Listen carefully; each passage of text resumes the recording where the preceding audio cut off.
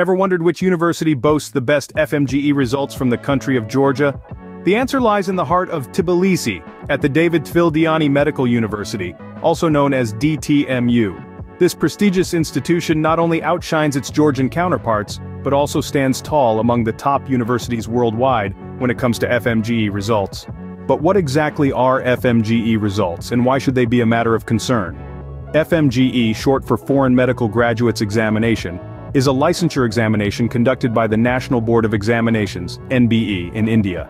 It serves as the gateway for foreign MBBS graduates who wish to practice medicine in India.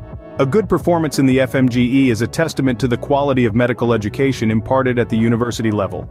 It reflects the institution's commitment to equipping its students with the knowledge, skills, and competencies necessary to thrive in the healthcare sector.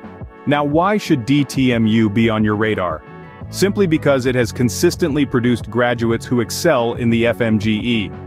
It's a testament to their rigorous academic program and their commitment to nurturing top-notch medical professionals. Remember, choosing the right university for your medical studies is a decision that can shape your future career. The FMGE results are a critical factor in this decision, especially if you aspire to practice medicine in India post-graduation. If you're curious to know more about the FMGE results of DTMU or have any other queries, don't hesitate to reach out. You can contact us at the numbers provided. Whether it's a phone call or a quick WhatsApp message, we're here to assist you. Because when it comes to your medical career, making an informed decision is the best prescription.